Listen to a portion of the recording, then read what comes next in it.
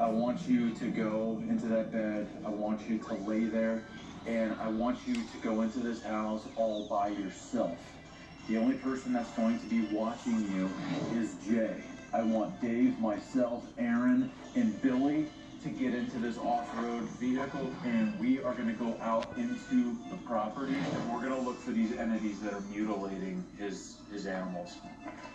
You okay, Dave? Just on edge. That was really weird.